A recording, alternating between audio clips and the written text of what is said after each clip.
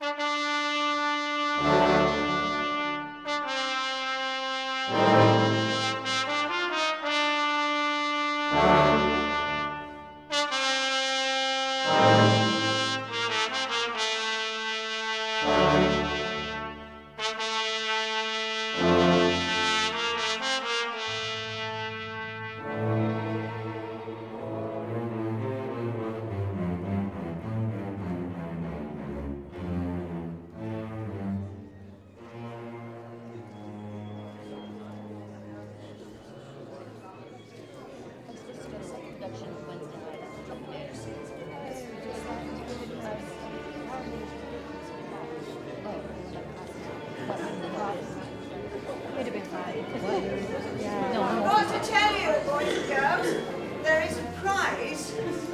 most handsome audience.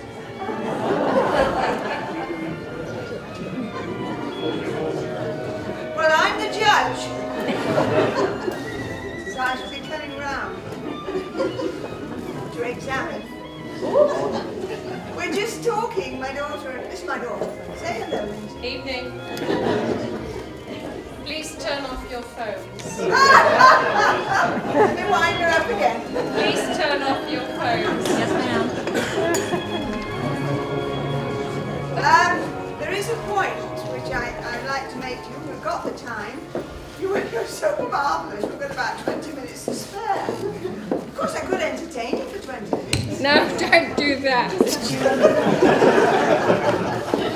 Thank you. I'm late. Thank you, ladies. Thank you very much. You heard that man on the front row, didn't you? Wait till I get up. How many of you felt phoned about tickets? You did. Yeah. Did you phone her about tickets? You hear the dog? How many have you phoned up near the dog? Oh. Well, he's in this play. the actors can't get a word in. um, what I want to say to you is, this is absolutely wonderful. All week we've had full houses. And I've actually, for the first time, had to turn people away. I don't like doing that. I hate doing it. So if somebody comes and sits on your knee, don't, don't hesitate. Just welcome. Um, to try to avoid this, we, uh, we have Chatsworth have um, said that we can have a longer time in the, in the theatre, which is lovely. So next time there will be two extra nights. But get your ticket early. And what I'm leading up to telling you is that we have a system, we have, what do we have, Lindsay? Email. Email thing. you know, Ross, you're laughing. I hate mechanical things. Only the telephone. I can deal with the telephone, as you well know. But otherwise, but Lindsay will do the emailing thing. So all you've got to do, if, if you want to be on the email list, which means that you get to know about the details of the play and about how the dog's doing and how I'm doing all through the year, um, it, you know, it doesn't cost anything, but we call you our patrons, and it does make sure that you hear about the play at least fortnight or three weeks before the, the, um, the general public is. And it gives you a chance to then telephone me early and get your tickets. So if you're interested in that, uh, I'll come around with a hat or my hand or something later, but do get one of the slips from Lindsay and fill your email address. That's lovely. Welcome. Do you know, we've got a party in tonight. I think this is absolutely marvellous. Of 37, well, I thought they were all ladies from Sheffield. But when I went to see them, um, there are quite a few gentlemen. I'm very pleased about that. Quite a few gentlemen in with them. So, um, Sheffield people, just give me a little wave. Look at that! Not only from Sheffield, they're well trained. Very happy to have you here. I hope you have a lovely evening with us and you come again next time when it will be the 7th to the 14th of June. Yeah? 7th to the 14th of June. So um, mark up a night for us already. I can't tell you what play we're doing, I don't know yet. we shall be doing a play without a dog, that's for sure. No dog next time. Don't encourage him when he comes on, will you? What time is it now, Lindsay? Just on quarter past. All right. Well, I'll tell you what. September the 24th this year, a coachload of friends and myself went down to London, as we do about six times a year, on average sort of once every two months, go down to see a show in London. Put your hands up if you've ever been with me to the shows in London. Thank you, Ross, well done, thank, oh, look at them, wonderful. We go there about half price and we see some marvellous West End shows. And we were on the way September the 24th to see Shakespeare in Love. You heard about it? Yeah, it's um, it's got five stars. All the critics have acclaimed it tremendously, and it oh, it was absolutely wonderful. It really was quite wonderful. It brought to life. Have you been to the Globe, any of you? Been to the Globe? Yeah, okay.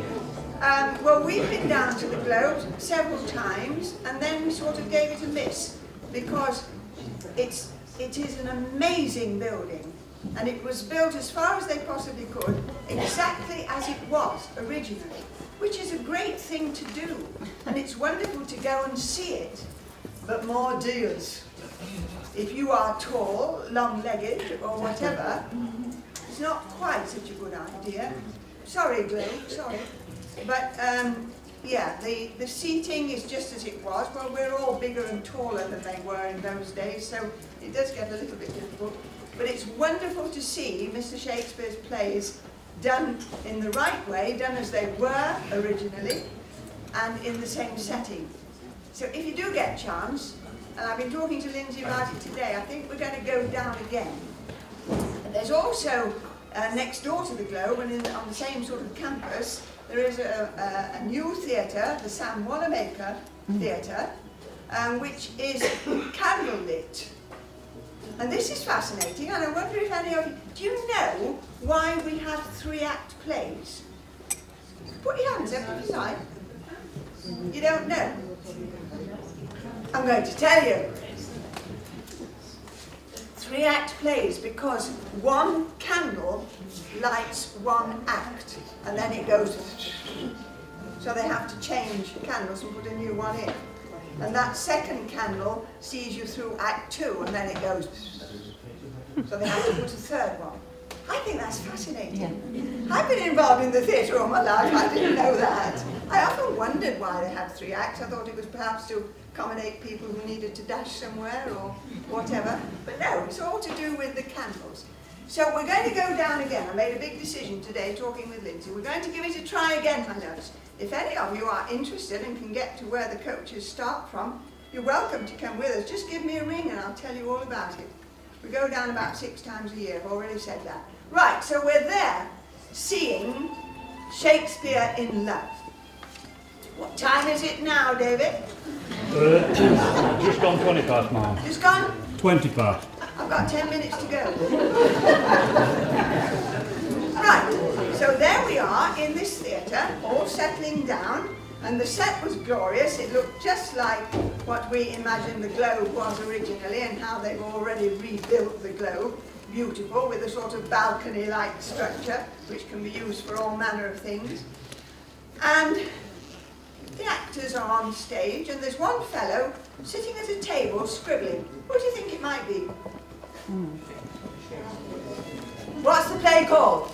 Shakespeare Love. Who do you think it might be? William Shakespeare. Well done this side. Half a point to you. Um, yeah, Will Shakespeare sitting there in the pub yard. You know, plays originally were performed in pub yards. You know where they have the, you think of any old pub that you know. Um, there's one in Newark. What's that one called in Newark, Lindsay? Never mind, you're too late.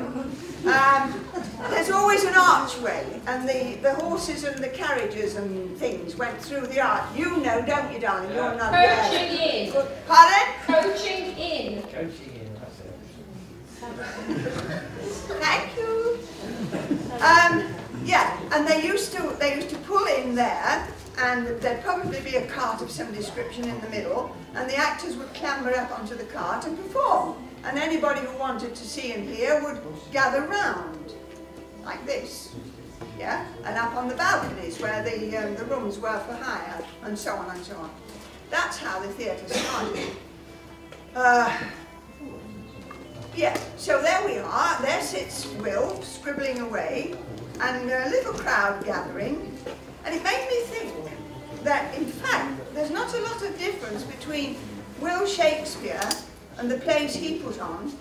There's not much difference between him and Sylvia Jackson and the plays she puts on.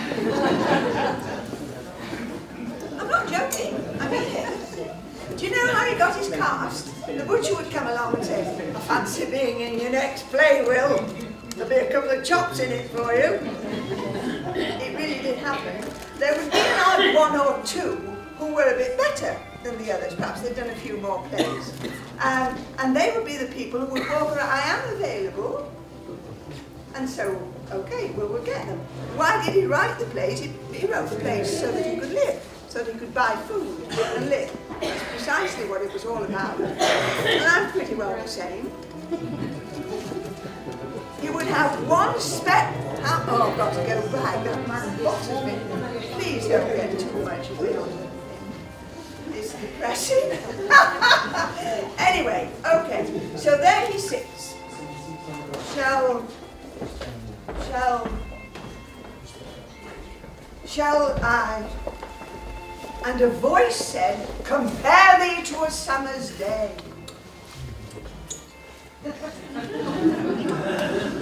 I admit. Somewhat. Oh, how embarrassing. Good job the daughter.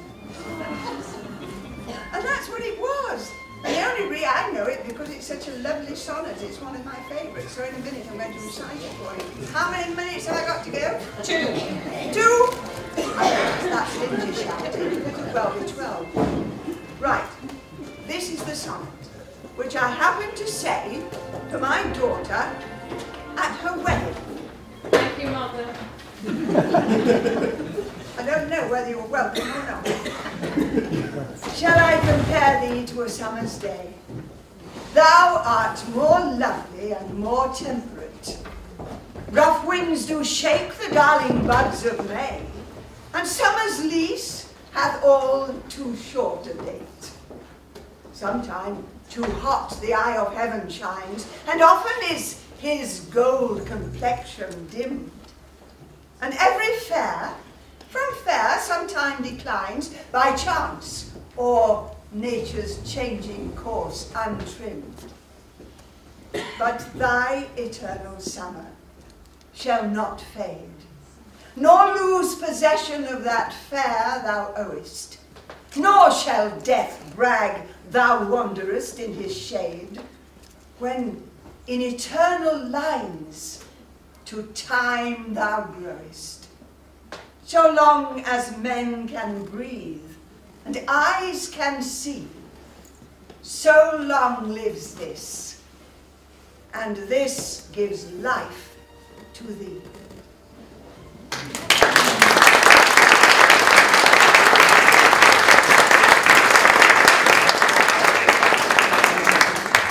Is that it, Lindsay? Yeah. They don't pay me any extra. Not. It's lovely to have you all here. I hope you have a super evening with us. And ladies and gentlemen, with great love and pleasure, Chatsworth Players present Gaslight.